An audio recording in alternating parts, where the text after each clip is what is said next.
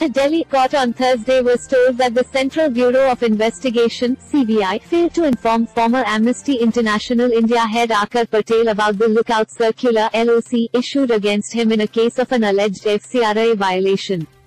During the hearing at Rouse Avenue Court, the advocate representing Patel, Tanveer Ahmad Mir, alleged that the LOC was issued without any procedure.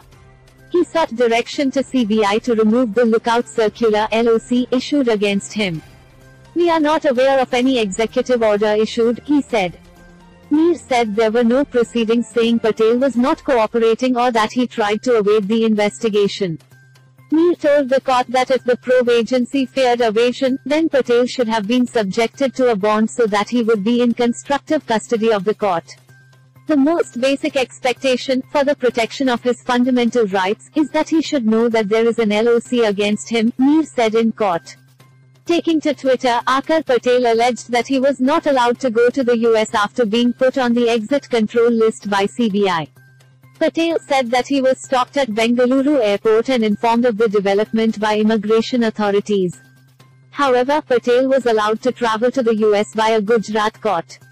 The CBI had filed an FIR in connection with the alleged violation of the Foreign Contribution Regulation Act (FCRA) and the Section 120B of the Indian Penal Code criminal conspiracy.